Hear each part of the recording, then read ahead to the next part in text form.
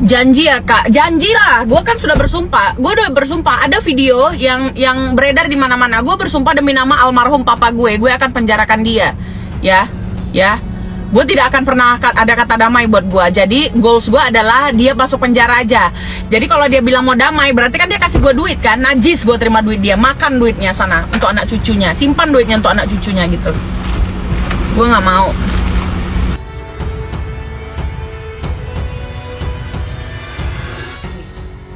Dengan statement dia yang selalu bilang seolah-olah dirinya adalah kebal hukum, saya pastikan dia tidak punya backingan siapa pun karena terutama laporan yang saya kirimkan yang saya layangkan itu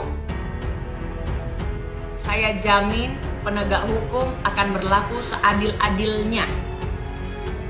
Ya, tidak ada intervensi dari siapa pun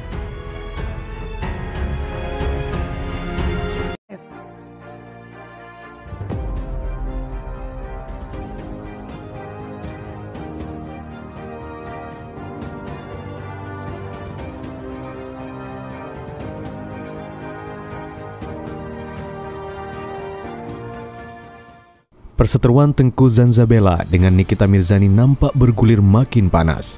Pasalnya, kini wanita yang akrab disapa Nyai itu resmi dipolisikan pada Jumat 3 Februari 2023. Tengku Zanzabela melaporkan Nikita Mirzani atas dugaan pencemaran nama baik. Dari unggahan yang beredar, dia mengutarakan sejumlah kerugian akibat nomor ponselnya disebarkan oleh Nikita Mirzani. Kenapa saya berani melaporkan dia? Karena itu sudah keterlaluan memposting hoax dan mencemarkan nama baik, kata Tengku Zanzabela. Dalam kesempatan itu, Tengku Zanzabela mengungkapkan bahwa Nikita Mirzani tidak memiliki backingan sehingga kebal hukum.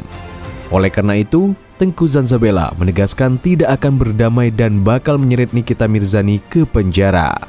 Saya jamin penegak hukum akan berlaku seadil-adilnya. Pungkasnya dikutip dari akun TikTok @zanzabella pada Senin 6 Februari 2023. Nikita Mirzani menanggapi santai laporan polisi yang dibuat Tengku Zanzabella terhadapnya atas dugaan pencemaran nama baik dan penyebaran data pribadi. Nikita Mirzani pun ogah mengomentari kasus yang menjeretnya. Dia menyindir Tengku Zanzabella sebagai sampah. Kalau soal sampah jangan tanya sama aku, karena aku bukan sampah. Kalau mau tanyakan sampah, kamu tanyakan ke tong sampah. Jawabnya kepada awak media yang meminta tanggapan soal laporan polisi Zanzabella.